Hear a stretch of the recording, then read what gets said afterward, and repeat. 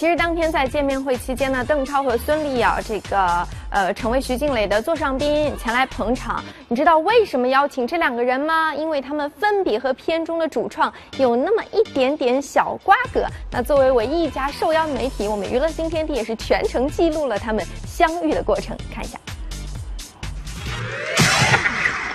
刚刚拍完《芈月传》的孙俪笑容满面，坐在老公邓超旁边，显得小鸟依人。反倒是向来抽风惯了的邓超一脸严肃，难不成是要在老婆面前树一下威风？但是当吴亦凡开口和邓超打招呼的时候，还是原形毕露了，咧着嘴的笑。由于在周星驰新片《美人鱼》当中担任主演的邓超和前来客串的吴亦凡有交集，两人因此结缘。而当主持人现场邀请邓超和孙俪上台说两句的时候，两人也顺势拿起了放在地上的花，显然是有备而来的。不过台上明明站了徐静蕾、胡一凡、王丽坤、张超和热依扎五个人，但是花却只准备了四朵。你们夫妻俩这是搞什么呀？怎么办？怎么办？手准备的怎么办？这个时候，孙俪急中生智，从花束里面试图拔出一朵玫瑰花，化解尴尬。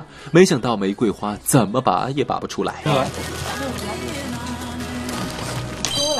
这个归我了，这个可以积极的分吗？不好意思啊。孙俪把单独的玫瑰花给了张超，把整束给了热依扎，毕竟人家是有革命感情在的。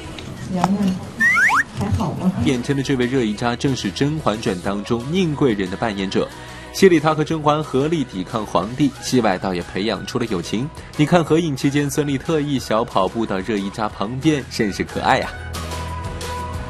评价一下热依扎的表现，因为你在《甄嬛传》里面跟她有很好，我我跟她关系太好了，所以评价不。